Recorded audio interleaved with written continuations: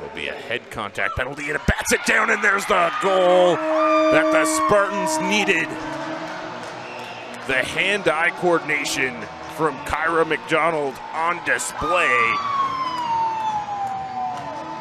Batting down the puck in midair, stopped by Ross, and she got there on the rebound. What a goal from Kyra McDonald.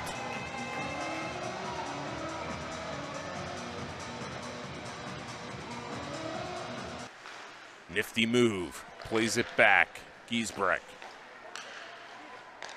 Lear in front, backhander, and there's the game chiming goal.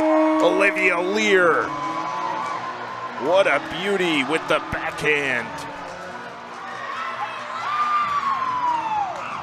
And the Spartans have tied the game against the defending national champs. The second power play goal of the night. What a shot from Lear.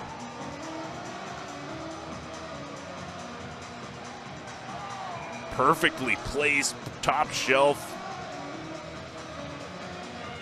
And Olivia Lear, the sophomore out of Regina, Saskatchewan,